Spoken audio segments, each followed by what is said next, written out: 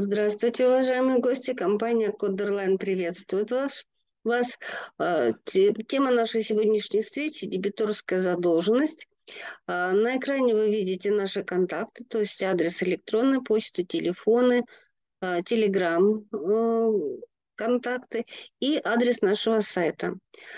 Приглашаю вас на зайти на наш сайт. Если вам оказалось неудобно, например, время нашего вебинара, то через некоторое время после его проведения мы выкладываем записи вебинаров, и вы можете посмотреть не только текущий вебинар, но и э, архивные материалы. Возможно, вам окажется полезной какая-то информация. А, вести э, встречу буду я, консультант-аналитик Гардышева. И, собственно, построена наша сегодняшняя встреча будет таким образом. Если можно, так сказать, нормативную информацию я буду показывать на слайдах, а потом мы будем переключаться с вами на демо-базу, на, на демо-версию ERP, и я буду показывать уже, так сказать, вживую э, материалы, про которые мы будем с вами разговаривать. Я сейчас переключусь на демо-базу, чтобы показать, как это будет выглядеть. То есть вот таким вот образом я буду переключаться между отчетами, показывать вам то, что мы проговорим, э, чтобы вы могли лучше э, разобраться в теме. Итак, возвращаемся к нашим слайдам. А, программа сегодняшнего вебинара у нас будет таким образом. А, мы поговорим про денежные средства и раздел казначейства, поскольку этот раздел позволяет оперативно отслеживать информацию по движению денежных средств, то есть и плановую, и фактическую. Потом мы поговорим про инвентаризацию расчета, внутренний контроль про местные, локальные ваши нормативные акты, про сверки, и потом затронем немножко отчетность, которую мы можем посмотреть э, по данной тематике. Итак, а, дебиторы, э, ну, то есть, в принципе, дебиторы и кредиторы, их задолженности, это как бы очень актуальная тема, потому что любое предприятие сталкивается с ситуациями, когда, например, э, клиенты не заплатили вовремя, на письма не отвечают, ну, то есть разные ситуации. И с какого момента мы можем считать, что наша задолженность, точнее не наша, а нам задолженность уже перешла из разряда текущей в проблемную, в хроническую, в безнадежную. А, в программе в ERP а, есть очень удобные механизмы, и один из них – это блок казначейства. То есть при работе в блоке казначейства мы можем сделать разные настройки и посмотреть оперативную, если можно так сказать, информацию, а, когда у нас задолженность уже а, перешла в просроченную, и что мы ожидаем, когда, то есть конкретно в какой момент предприятие нарушило платежное обязательство перед нами. Значит, посмотреть, как блок казначейства мы можем, вот у нас есть раздел прямо казначейства, и в нем нас будет интересовать платежный календарь и отчеты по, контра... по казначейству. Сейчас мы с вами переключимся в демо-базу и посмотрим, как это выглядит, так сказать, живьем. А, значит, вот у нас блок казначейства. Э, при переходе в этот блок у нас открывается вот такое меню. Как вы видите, здесь у нас есть контроль и планирование денежных средств и есть рабочее место платежный календарь. Мы про него поговорим поподробнее, а сейчас хотя бы посмотрим строение блока. Э, есть отдельный подраздел взаимозачеты и списание задолженности. То есть э, задолженность для того, чтобы списать, например, уже как безнадежную, нужно соблюсти, так сказать, некий ритуал. То есть необходимо совершить э, несколько операций, перевести на забалансовый счет и так далее. А, ну и, собственно говоря, все остальные разделы относятся к текущей работе с денежными средствами и э, работе с банковскими платежами, то есть это безналичные платежи, выписки, входящие, исходящие. Ну и, естественно, раз, э, работа с кассой. А, сейчас этот раздел применяется гораздо реже, потому что, в принципе, а, государство достаточно жестко контролирует движения наличных денежных средств. Ну и, соответственно, никто не отменил лимиты взаиморасчетов между предприятиями и организациями. То есть если это касается, например, каких-то некрупных расходов, там командировочных и так далее, то с этим блоком активно работают. А когда идет разговор про взаимоотношения организации, то здесь, конечно, в основном работает безналичный расчет, и э, основное место, где это можно увидеть, это у нас платежный календарь. Возвращаемся с вами снова э, к нашим слайдам. Вот. И э, сейчас я покажу слайдик сам платежный календарь, а потом мы переключимся в него и поговорим еще немножко уже на практике. А, как вы видите, сам платежный календарь имеет вот такое строение, то есть э, задолженность у нас здесь отражается, то есть видите, вот это выделено, выделение э, красной рамкой, это э, именно просроченные платежи. И если мы открываем вот по плюсикам какую-то организацию, поскольку у меня демо-база, у меня собственных юрлиц достаточно много. Вот я для примера открыла одно э, открыла одно одного контрагента.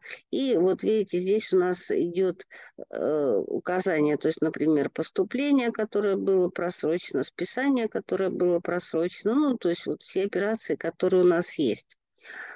А, сейчас мы с вами переключимся в демо-базу и посмотрим, как это вживую происходит.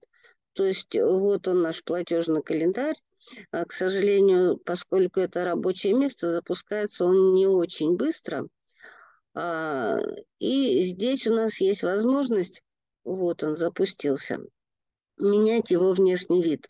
То есть, если вам необходимо отслеживать текущие платежи, которые вы должны сделать, можно открывать вот такой вид. А внешний вид может быть вот э, разных вариантов. То есть мы можем вот так его создать, как сейчас, можем немножко изменить внешний вид, будет вот так выглядеть. А, и можем выбрать третий вариант, который у нас будет отражать только список заявок на оплату, ну, то есть платежные поручения исходящие. А, и еще один момент.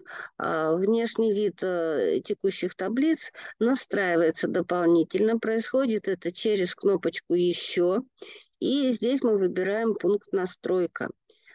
И, как вы видите, здесь достаточно большой перечень, что необходимо отражать. То есть, например, если мы работаем с задолженностями, э, то мы можем э, а, отметить, например, оплату по заказам, возвраты, ожидаемые поступления.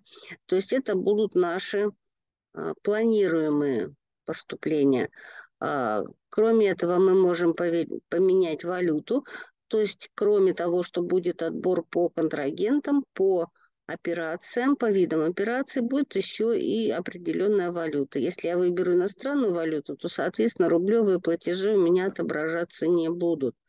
И еще одна фишечка есть вот такая, то есть я могу проставить вот здесь флажок, скрывать нерабочие даты, и в этом случае у меня будут отображаться только рабочие дни и, соответственно, поступления по рабочим дням. Ну, мы сейчас это не будем выбирать, вот мы выбрали только конкретные поступления, например. И э, в этом случае вернемся снова к вот этой форме отражения, потому что здесь э, в верхнем окне отражается движение по банковским счетам. То есть вот, например, я выбираю Андромеда Плюс. Это моя организация, мое юридическое лицо. И я смотрю, что меня интересует. Ну, то есть вот просрочно, видите, у меня, ну, очень существенная сумма. И, э, собственно говоря, вот когда я ставлю на нее курсор, я вижу, по каким документам у меня оплата не поступила вовремя и от кого конкретно. Это, так сказать, оперативный э, оперативный способ отслеживания, когда возникает задолженность. В этом случае она у нас еще относится к текущей, и все, что мы можем сделать для того, чтобы ее получить как можно быстрее, это административные мероприятия. То есть мы можем э, писать письма, звонить, ну, то есть как-то общаться с более высокопоставленными лицами. То есть, например, если у нас переписка шла с бухгалтером-операционистом, мы можем а, написать или позвонить главному бухгалтеру. Ну, то есть оперативные способы устранения задолженности. А, если у нас задолженность уже перешла в разряд из текущих проблемную, то в этом случае у нас, опять же, административные меры мы можем принимать. А вот когда она уже переходит в просроченную, а, мы поговорим еще, когда задолженность меняет, так сказать, свое состояние. А вот с просроченной задолженностью мы уже обязаны сделать не только административные э, шаги, но еще и бухгалтерские. То есть в этом случае мы должны перевести задолженность на другой бухгалтерский счет и отражать ее уже по-другому. А, здесь, кроме платежного, плате, платежного календаря в этом разделе, у нас есть а, так, казначейство. У нас есть еще и раздел отчеты по казначейству. То есть в этом разделе мы можем получить уже более точные где-то бухгалтерские отчеты, где-то э, управленческие. И есть у нас вот такой раздел взаимозачеты и списание задолженностей. То есть здесь у нас первым пунктом стоит сверка. Э, выделение синим текстом это означает, что мы по этой ссылке можем перейти в нужный нам э, режим. А, то есть прежде чем э, нам уже, так сказать, бить в колокола, э, необходимо подтвердить сверку, что а, у нас совпадают и э, документы реализации, ну, я сейчас поставлю вот так, и документы реализации, и документы об оплате, что мы ничего не пропустили, и наши партнеры тоже получили все вовремя, и как бы у нас нет разногласий по документальному обоснованию возникшей задолженности. А, ну, поскольку у меня вот на этот период нет операций, то мы можем посмотреть только шапку, так сказать. Сверка взаиморасчетов, а, то есть э, какая организация, с кем мы общаемся, в какой валюте, там, например, рубли, доллары и так далее. Наши данные, данные контрагентов. То есть, в принципе, это режим получения обычной, обычного акта сверки, но этот э, шаг, так сказать, необходим для того, чтобы можно было уже в дальнейшем э, прибегать к каким-то официальным мероприятиям, ну, например, выставления претензий и так далее. А, ну и, естественно, согласовывать э, документы в случае, если кто-то что-то пропустил.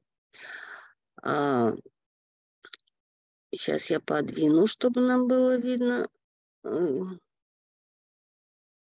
Вот так вот, что ли, сделаем. Вот так вот пока сделаем.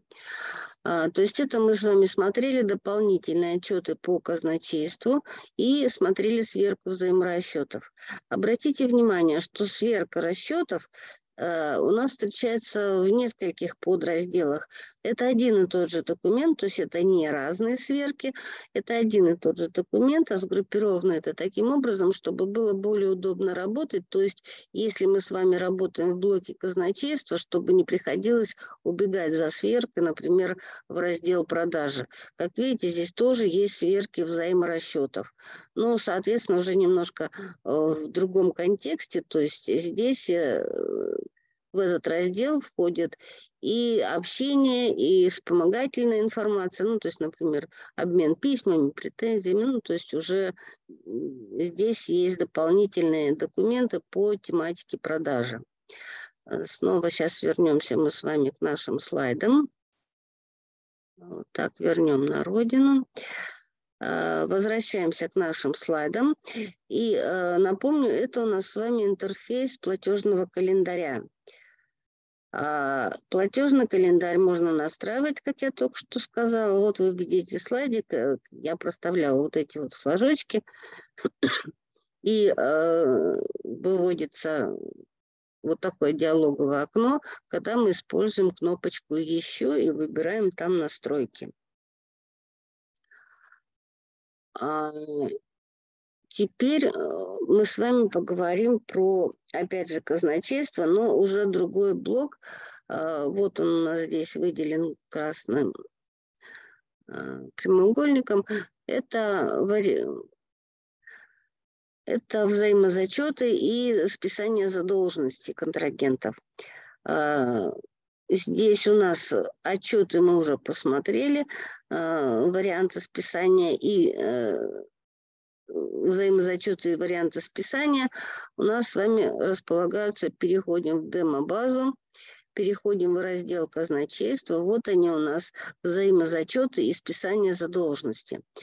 А, то есть, видите, здесь тоже есть сверки взаимозачетов. Ну и, соответственно, взаимозачеты, которые позволяют зачесть встречные обязательства. То есть, например, у нас есть э, задолженность перед контрагентом, как перед поставщиком, а он нам должен денег как клиент. То есть мы можем вот из этого раздела оформить э, взаимозачет, что мы зачитываем встречные обязательства, и, соответственно, изменяется наша сумма задолженности, и мы можем сверху согласовать с нашими партнерами.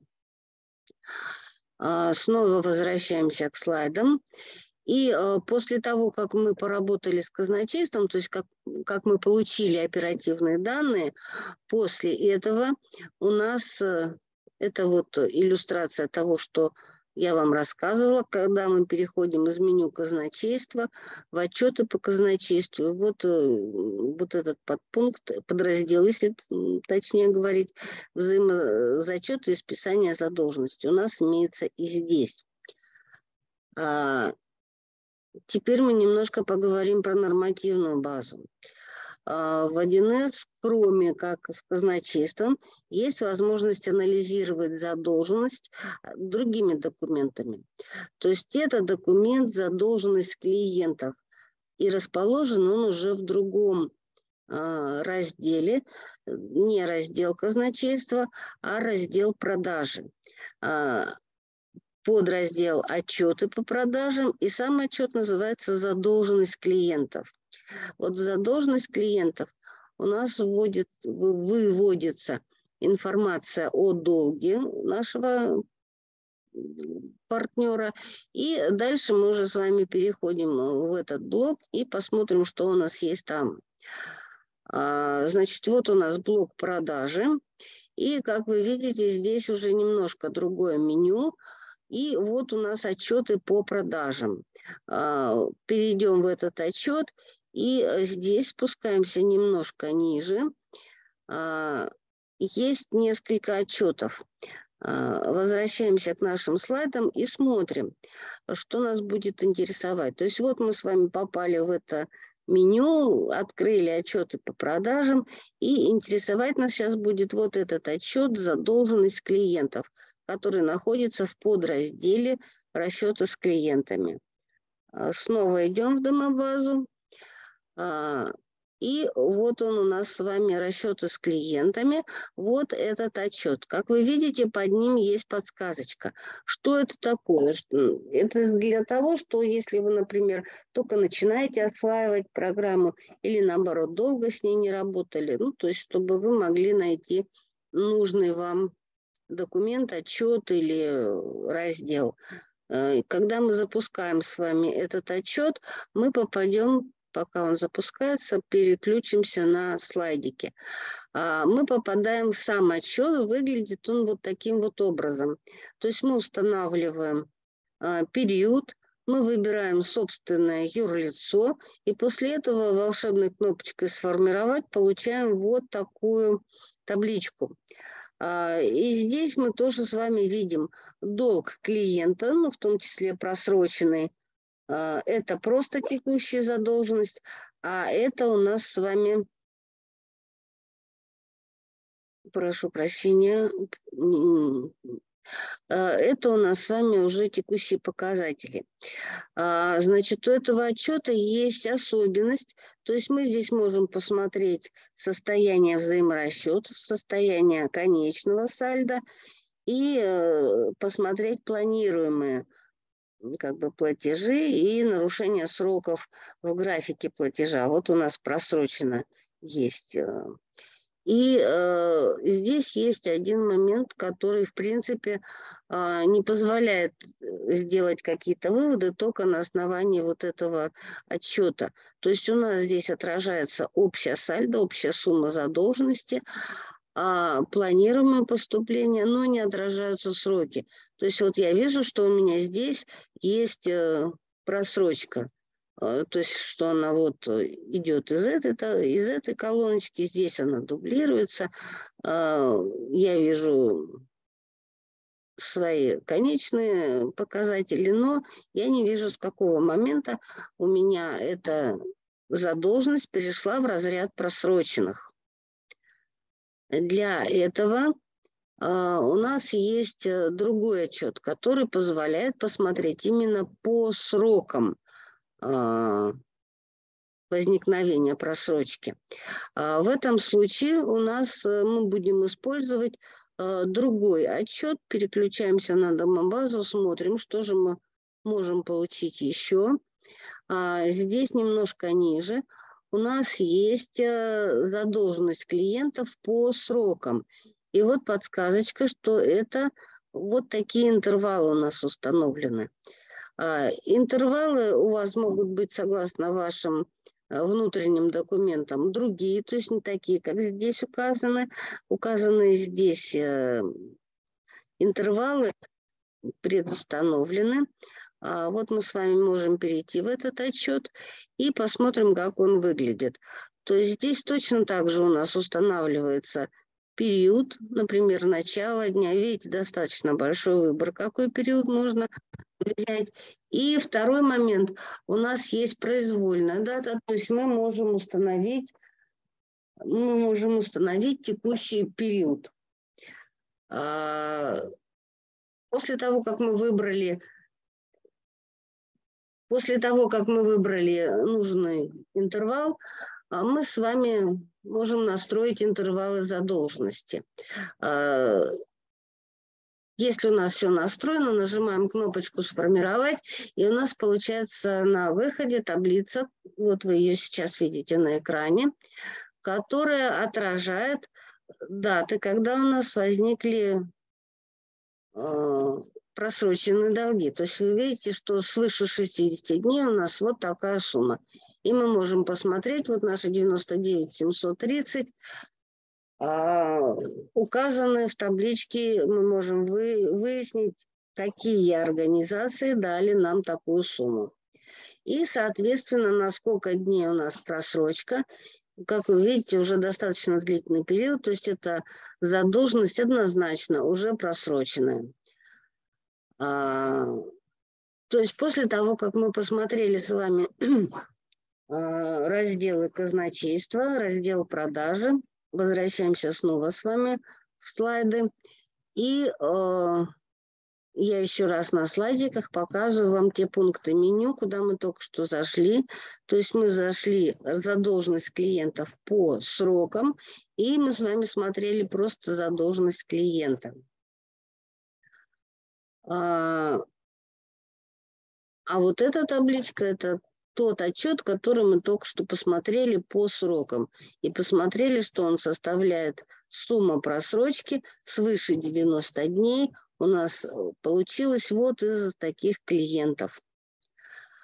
А, на самом деле, а, кроме этого, можно получать еще много всякой другой информации. А, во всяком случае, те, те данные, которые э, у нас имеются в системе, позволяют выводить э, достаточно, ну, как бы разностороннюю картину. А, Напомним, напомню, что при возникновении просроченной задолженности э, необходимо э, предпринять административные мероприятия, которые нужны не только для того, чтобы надавить на совесть контрагента, но и для того, чтобы юридически можно было э, как бы работать с этой задолженностью, то есть обязать человека или организацию э, поторопиться с возвратом долга, ну и так далее. А, то есть э, подтвердить э, то, что задолженность э, перешла в проблемную или в безнадежную, необходимо, чтобы у вас был комплект документов. Например, письма, которые вы отправляли, и на них не получили ответа. А, претензии которые вы подавали в судебные органы, в арбитраж, а, и создание резерва в бухучете – то есть это те документы, которые подтверждают ваше желание вернуть а, причитающиеся вам деньги. А, теперь немножко нормативного материала. То есть что у нас э, относится к просроченной задолженностью и что у нас относится к безнадежным долгам. Если у нас задолженность э, перешла безнадежную, мы должны будем доказать, что фирма предприняла все возможные усилия, которые не увенчались успехом. То есть это как раз то, о чем я вам говорила. То есть вы можете предъявить переписку, а, вы можете предъявить э, претензии, претензионные документы. А, и, соответственно, после того, как вы предприняли необходимые действия с точки фискальных органов, вы не можете больше эту задолженность учитывать в бухгалтерском и налоговом учете. А вот теперь поговорим и о том, как списать безнадежный долг. А, значит, списание безнадежного долга – это отдельная процедура, которая требует, чтобы у вас были собраны документы, а, то есть первичка, это у нас будет с вами акты взаиморасчетов, переписка, как я уже э, говорила, которая подтверждает, что вы пытались получить обратно свои деньги. В обязательном порядке инвентаризационные акты, что вы проводили инвентаризацию этой задолженности. И дальше уже для списания задолженности необходим приказ директора.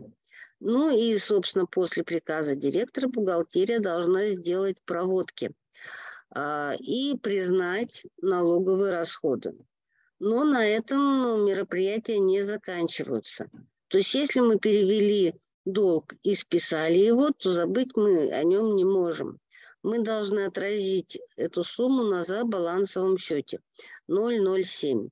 И потом в течение пяти лет регулярно на нее смотреть, горевать, но тем не менее предпринимать определенные действия для получения этих денег.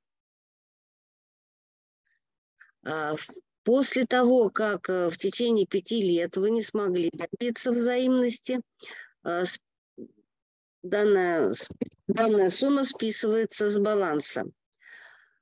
А, и, собственно говоря, на этом наша возможности работы с дебиторской задолженностью, в общем-то, заканчиваются.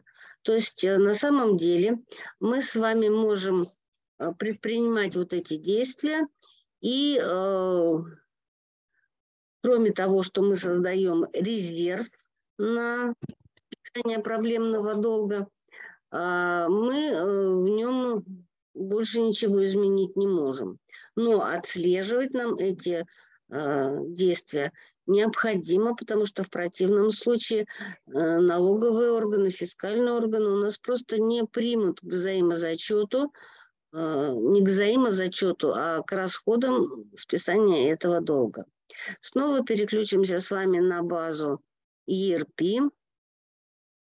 И э, эти отчеты я закрою, они нам уже не нужны. Вот так вот чтобы лишнее не мешалось. И поговорим еще о том, чем нам может помочь э, программа для работы с просроченной задолженностью. Значит, как я уже говорила, у нас мы использовали возможности раздела продажи и раздела казначейства.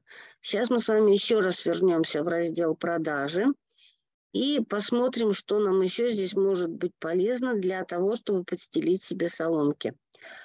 А, ну, во-первых, у нас здесь есть с вами а, работа с клиентами. То есть это э, торговые предложения 1С бизнес-сеть. Если вы пользуетесь этим блоком, то вы всегда можете доказать э, любым проверяющим, любым э, налоговым органам или другим фискальным органам то, что вы предъявили, во-первых, должную осмотрительность.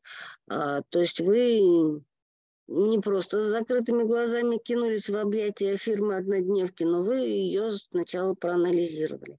Поскольку вот в этом приложении э, есть э, ну, осуществля, осуществлена проверка, с контраген, проверка контрагентов. проверка контрагентов, вот мы сейчас с вами ее запустили, но, к сожалению, я на демо-базе должна буду выбрать, например, конкретного поставщика, с кем я буду работать, а, ну, естественно, выбрать способ доставки. Вот он у нас. А, то есть, видите, достаточно большой перечень и а, что есть по моему контрагенту. То есть, что он ведет какую-то деятельность торговую, коммерческую, что он не просто там одну операцию в год совершил.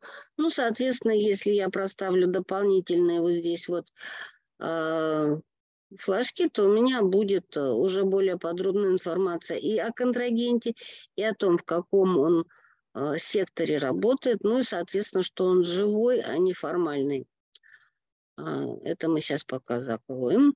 И снова вернемся в раздел продажи и э, посмотрим, что здесь еще у нас есть. То есть мы можем для проверки э, работы этого контрагента э, использовать э, вот такие разделы справки 1С парк, риски, то есть оценить риски работы с данным контрагентом. Если вы реально существующая организация, а не ну, дежурное юрлицо, то для вас это жизненно необходимо, поскольку ну, во-первых, э, подтверждает вашу должную смотрительность, ну а во-вторых, просто элементарно может застраховать вас от каких-то ошибок. А, и э, проверка контрагентов осуществляется в программе в нескольких режимах. То есть пока у нас формируется вот здесь контрагент, так, вот выберем кого-нибудь, где у нас не стоит. Ну вот, например, выберем этого контрагента. А, и запрашиваем справку. Да. Собственно, я поясню, почему возникла такая ошибка, потому что контрагент у меня есть, но а, здесь, соответственно, не заполнены а, про него справ нужные данные. Поскольку база демонстрационная, то ИНН здесь вымышленные. И, соответственно, программа не находит их э, в общем списке ИГРЮ и так далее.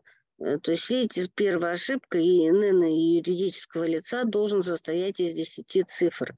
Для того, чтобы проверить, что у меня там про него написано или не написано, я могу перейти вот по такой пиктограммке и посмотреть справочник, то есть э, карточку контрагента.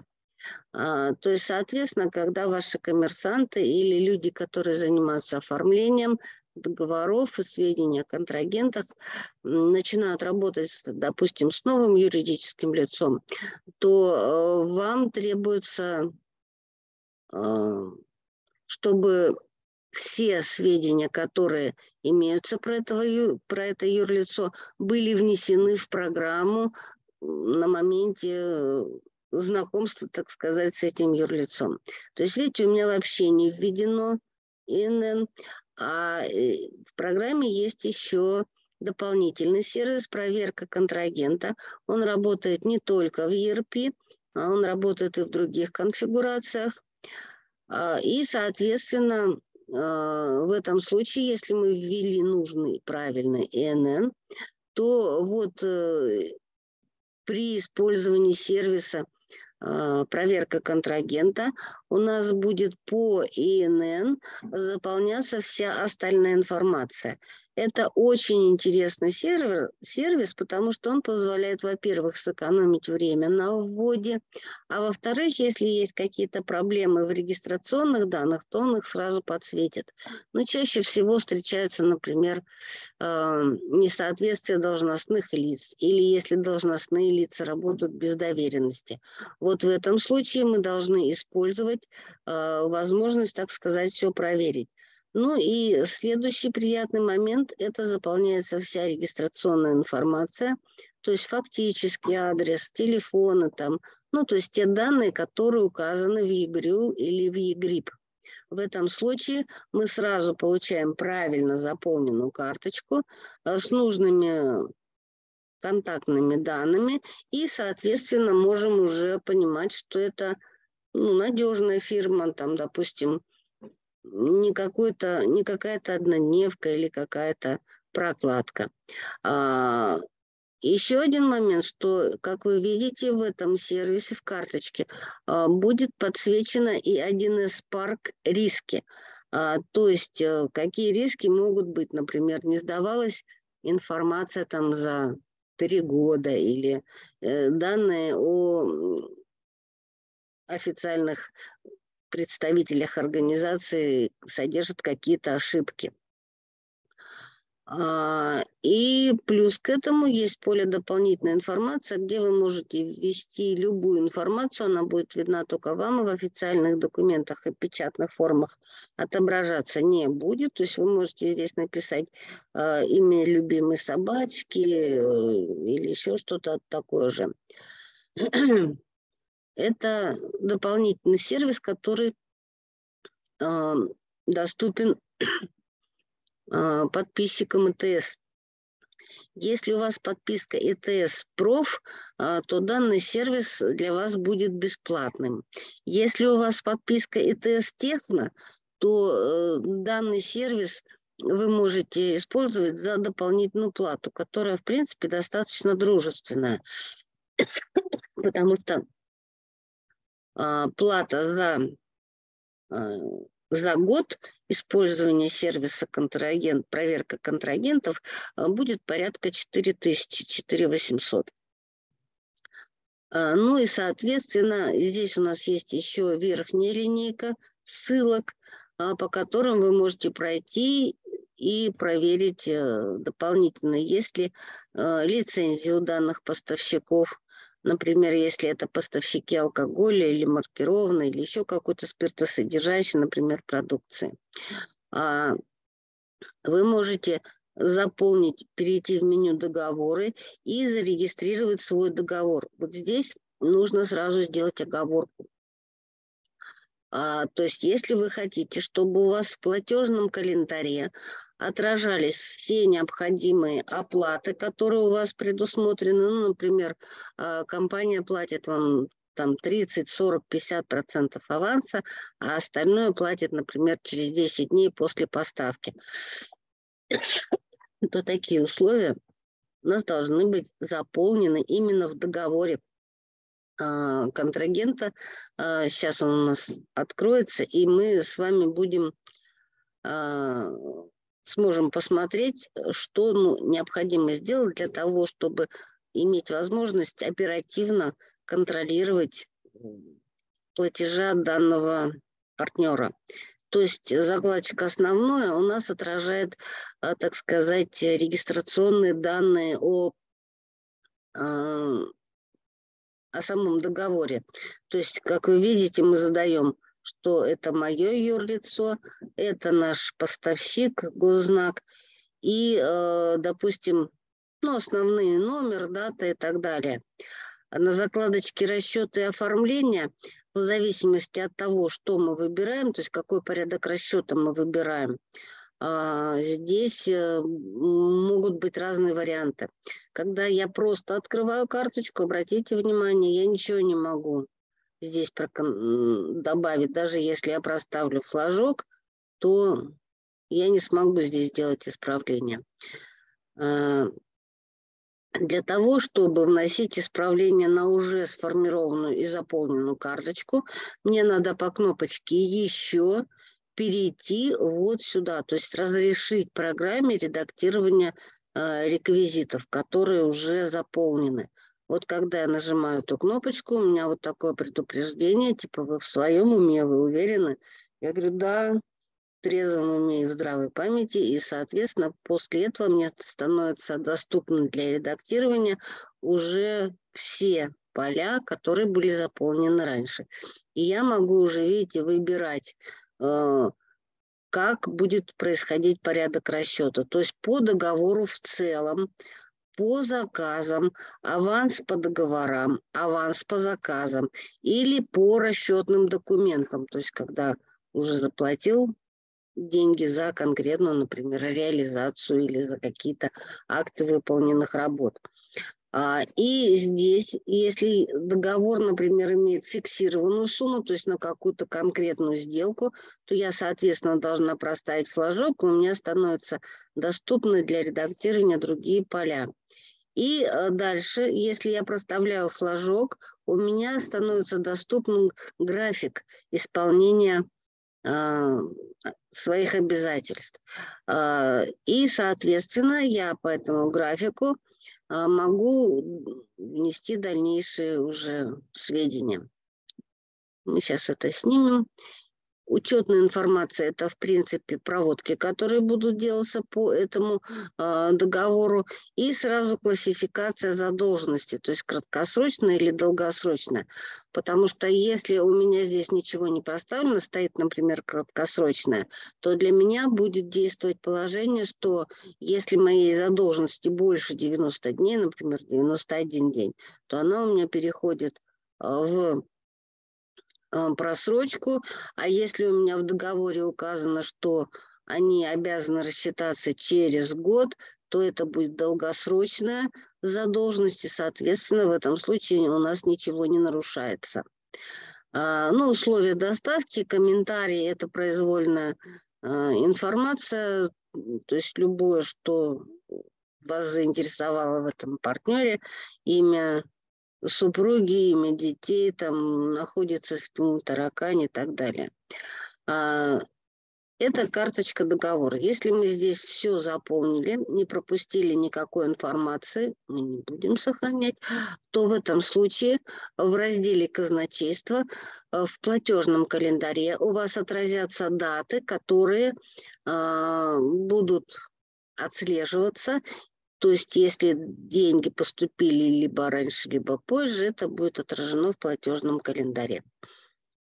Так, выходим из этого раздела. И э, следующий, так, платежный календарь мы тоже закроем, он нам не нужен. А, и, соответственно, еще в меню продажи нас будет интересовать э, и еще один момент, когда, например, контрагенты, а, вы проверили контрагента, он есть, все хорошо. А, есть еще одна проверка, это контрагенты на мониторинге. То есть что такое мониторинг? Это значит, что налоговые органы а, имеют прямой доступ в программу контрагента и, соответственно, отслеживают его платежи, его исполнение налоговых обязательств и так далее. То есть это, собственно говоря, э, применяется в определенных случаях и э, может э, может быть, вам неудобно, может быть, наоборот, это для вас окажется плюсом. Но информацию об этом иметь очень, ну, как бы полезно. А, собственно, здесь открывается, сейчас мы подвинем вот эту вот табличку.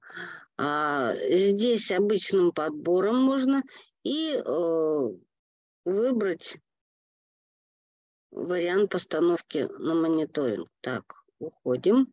И что нас еще будет интересовать в меню продажи? А, это, допустим, если вы осуществляете какие-то возвраты, то, соответственно, а, на получение денежных средств необходимо выписать дополнительные доверенности.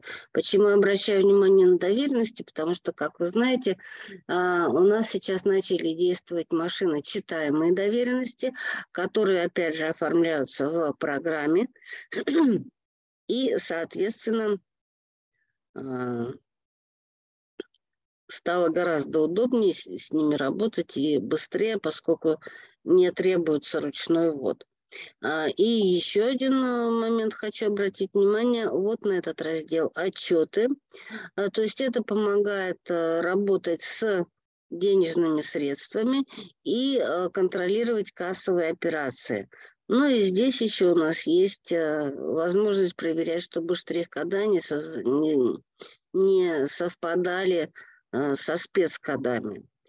А, ну, это, в принципе, для крупных предприятий более, больше интересно. И, соответственно, есть возможность работать, как вы видите, по обмену, по обмену, по прослеживаемым товарам, по маркировке, ну, то есть уже такие сервисные функции.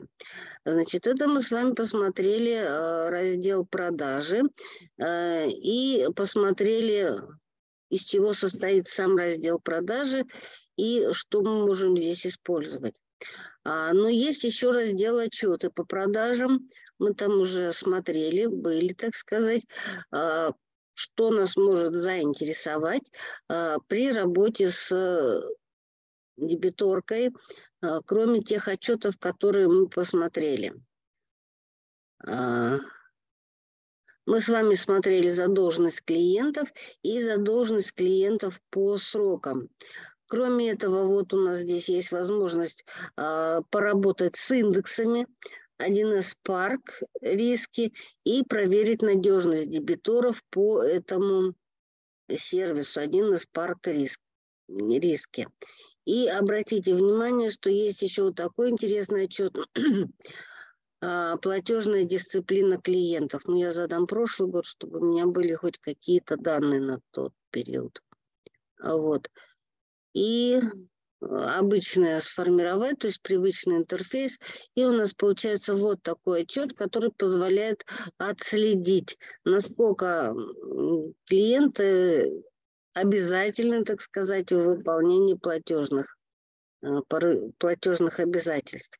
А, вы видите, что у нас идет э, юридическое лицо, партнер наш, и дальше период, и какая есть задолженность и просрочена она или нет.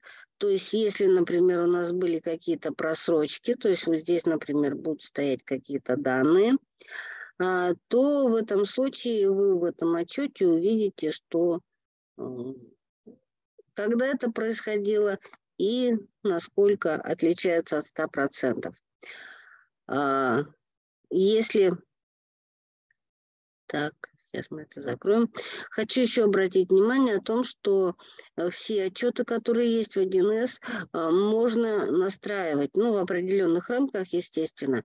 А, то есть э, вот сейчас у нас есть простой вариант, мы можем использовать расширенный вариант. То есть если нам в этом варианте чего-то не хватает, то мы можем добавлять э, дополнительные сведения.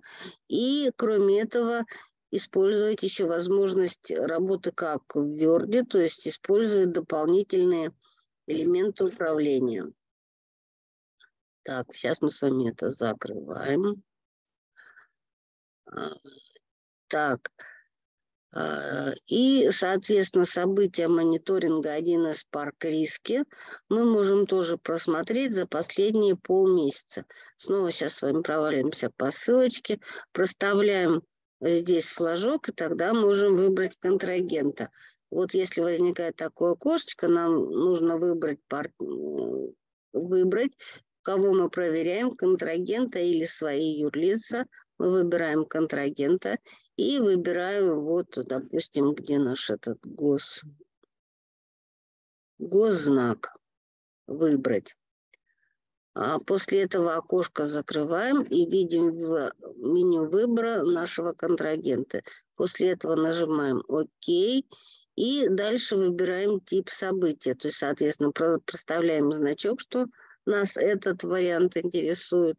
И э, здесь, например, проверяем на прекращение деятельности. То есть действующее это юрлицо или не действующее.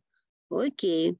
И дальше мы можем проверить, есть ли у него исполнительное производство, то есть э, а, накладывали ли на него какие-то судебные ограничения, или можем поставить только критические события. Ну, мы сделаем вот так и так, и э, нажимаем опять же кнопочку «Сформировать». В этом случае мы получаем отчет ну вот видите, в нашем случае у меня демо-база, во-первых, содержит недостоверные, а сфантазированные данные, ну а во-вторых, не подключена к интернет-поддержке. То есть если у вас есть ЭТС, то вы при начале работы заполняете свой доступ на портал 1С, и, соответственно, в этом случае а, будет э, сформирован отчет, который покажет какие-то э, сведения, которые были на этом предприятии. Ну, например, там он подал на ликвидацию или он, он имеет э, какие-то очень серьезные судебные претензии. То есть вы это сможете увидеть. А, и, собственно говоря, а, здесь у нас есть еще один интересный отчет, который уже, в общем-то, немножко с другой стороны характеризует вашего партнера, но опять же это если реально существующий контрагент, а, и вы хотите с ним начать работать, в этом случае, так сказать, сразу проверяем места, где у нас э, могут быть риски где стелить соломки. А, в этом случае а, мы, соответственно, должны заполнить договор. И когда мы будем заполнять договор, внести необходимые сведения в договор мы можем, ну, допустим, типовые условия продаж. В этом случае мы получаем, сейчас мы выберем какое-то свое юрлицо, ну, например, вот выберем металл-сервис, выберем промресурс, нажимаем ОК. Вот у нас с вами сформировался. А, по сегменту партнеров, то есть мы, например, а, можем выбрать дилеров или мы можем выбрать э, розничных э, клиентов. Ну, розничных обычно всегда бывает много. Э, мы можем выбрать оптовых клиентов, например. И в этом случае, ну, плюс еще можно, если мы анализируем оптовиков, то чем эти оптовики будут торговать. Ну, например, как вы видите, можно более 10 тысяч рублей. То есть можно настроить отбор по объему реализации, можно по номенклатуре, которую они реализуют, и можно, допустим, ну вот по разным, как вы видите, э, параметрам. Давайте мы выберем вот так вот, больше 10 тысяч. Вот. То есть в этом случае опять по кнопочке «Сформировать» мы выводим э, на отчет, а, обращаю внимание, со стандартными настройками, которые установлены а, по умолчанию в программе, но мы можем изменить эти настройки и задать сюда ту информацию, которая нам нужна. Ну, опять же, поскольку у меня нет данных в демо-версии, то есть вы видите только, так сказать, заголовок э, от таблицы. Но, тем не менее, соблюдал или не соблюдал, э, мы с вами можем посмотреть по другим отчетам. А здесь мы можем посмотреть условия, которые э, были заданы для этого отчета. А, и еще, что мы можем посмотреть, это если, например, с этим предприятием уже работали какие-то ваши представители. Ну, как вы видите, набор эффективности, ой, извините, анализ эффективности э, торговых представителей. Но вот если мы выберем конкретно этого юрлица, мы тоже сможем отследить. То есть это все доказывает вашу коммерческую осмотрительность и, э, собственно говоря, позволяет э, подстраховаться. А, еще один момент, который, на который мне хотелось бы тоже обратить внимание. Как вы все знаете, у нас очень много было нововведений законодательных в этом, в прошлом году и в этом году. И, соответственно, у нас достаточно сильно изменялись э, данные по бухучету по бухотчетности, извините, если можно так выразиться, и по налоговым по налоговому учету. А, все отчетные материалы, которые были приняты, у нас располагаются в разделе «Регламентированный учет». И здесь у нас есть еще а, несколько моментов. То есть а, блок 1С отчетность и, в принципе, работа с дебиторкой, с кредиторкой, как мы уже говорили, в первую очередь отражается в балансе. А, то есть мы должны просроченную безнадежную дебиторку перевести на забалансовые счета. Ну и, соответственно, в этом случае, когда мы формируем с вами регламентированный отчет, то есть блок 1С отчетность. Обращаю внимание, что это, блок, что это название и блока, и дополнительного сервиса. А, сервис 1С отчетности – это сдача в налоговые органы напрямую, без операторов ТКС. А когда вы запускаете блок, у вас вот такое рекламное рекламный баннер выскакивает, и вот вы видите это подключение интернет-поддержки. То есть, э, когда вы вводите вот эти данные свои из подписки ИТС, э, то вы можете пользоваться, соответственно, проверками, про которые мы только что поговорили. То есть проверка, которая производится через интернет. В этом случае оператор эм, Оперативно идет обмен информацией с реестром из ЕГРЮЛ или ЕГРИП. А, и вы сразу видите всю информацию и про контрагента, и про его регистрационные данные, ну, то есть про все. Более подробно по сервисе вы можете почитать вот здесь, по ссылке.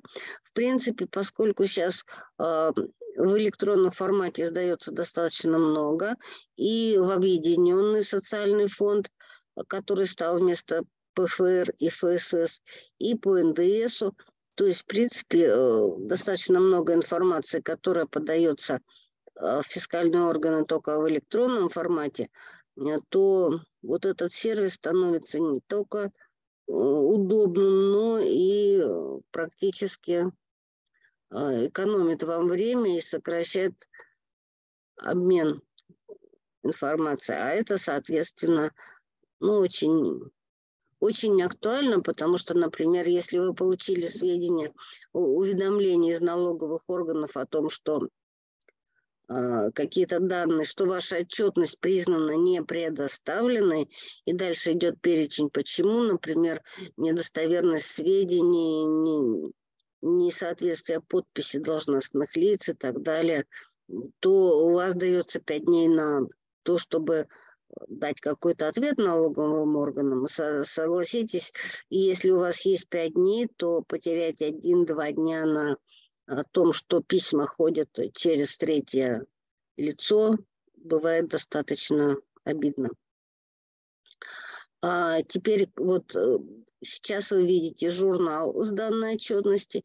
И когда мы хотим, например, а, проверить нашу бухгалтерскую отчетность, то есть отражены или не отражены все операции по работе с дебиторкой, то есть выведены или нет а, на забалансовые счета задолженности, а, мы с вами открываем то есть вот, так, вот такой, такой диалоговое окно а, предполагается выбор какого-то конкретного отчета. И если на закладочке избранный я, например, не нашла этого отчета, который мне нужен, то я перехожу на закладочки «Все» и уже здесь выбираю то, чего мне не достает на закладочке «Избранные». А, ну, например, а,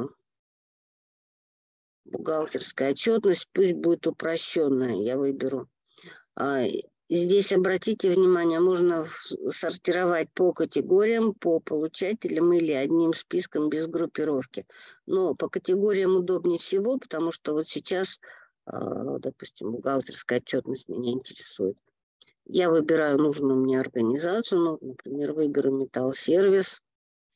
И почему я пошла сюда, почему я вам показывала, потому что а, поскольку регламентированная отчетность тоже претерпела много изменений, то, как вы видите, вот я хочу за прошлый год составить баланс, заполнить баланс. И у меня есть подсказка, а, какая редакция формы в этом случае будет использоваться. А, и можно отследить изменения законодательства. То есть проверить, актуальна ли у вас э, стоит версия программы, актуальный ли релиз, и со, соответствие, э, про, проверить соответствие последнего релиза и того, который установлен у вас. Посмотреть то, что установлено у вас, вы можете вот таким образом. То есть вот у нас есть такая пиктограмма, и здесь нас интересует ссылка. А, то есть вот здесь мы видим а, релиз платформы, А вот здесь мы видим релиз конфигурации. И вот 25864 это достаточно древняя э, как бы информация. То есть сейчас есть гораздо более новые релизы. И, соответственно, если вы остаетесь э, на своем релизе, то у вас отчетность может быть сформирована по старым формам. На этом как бы мы посмотрели с вами все материалы, э, которые были запланированы. Хочу еще раз вернуться на титульный лист и обратить внимание на нашу контактную информацию. Вы можете задавать свои вопросы. А, мы будем очень рады оказаться вам полезными. И, собственно говоря, предлагаем любые услуги, которые касаются семейства программ 1С. То есть это и продажа, и установка, и доработка программ каких-то нас внедрения, когда требуется сделать нестандартные отчеты, то есть которые требуют работы программиста. Э, в общем, будем очень рады оказать вам помощь. Обращайтесь. Э, всего доброго.